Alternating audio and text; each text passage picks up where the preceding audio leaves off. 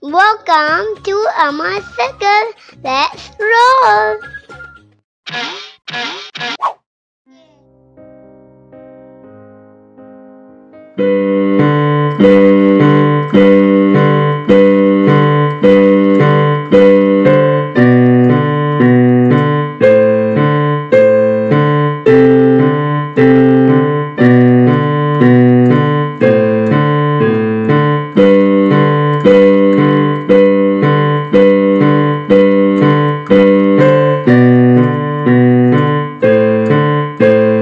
Thank you.